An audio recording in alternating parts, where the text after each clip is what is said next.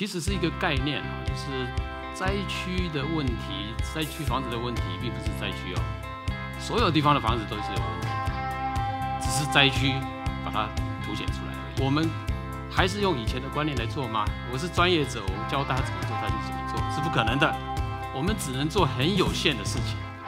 既然要盖那么大的大量的房子，我们只能做很少的事情。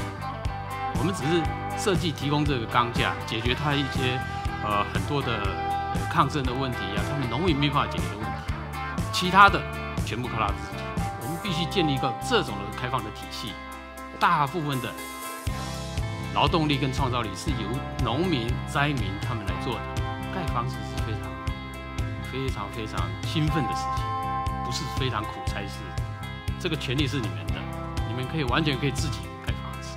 你可以主导你自己的家，不要把它交给开发商是其他的，没有这个权利。